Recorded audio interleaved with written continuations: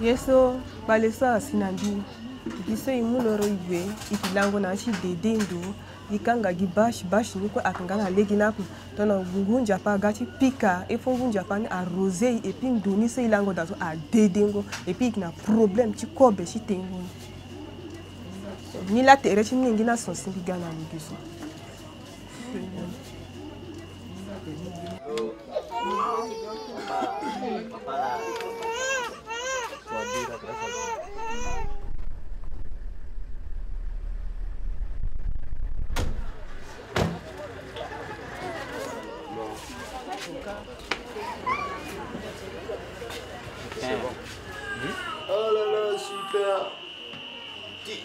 On a pensé à une infection néonatale à porte d'entrée ombilicale, vu que la plaie ombilicale était euh, nauséabonde et puis suppurative. Donc on a mis le traitement d'usage en, en cours de route, une antibiothérapie.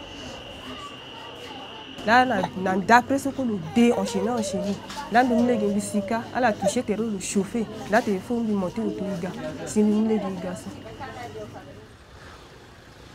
Vu la situation, vu le contexte, nous n'avons pas la possibilité de se déplacer aisément, facilement venir à l'hôpital.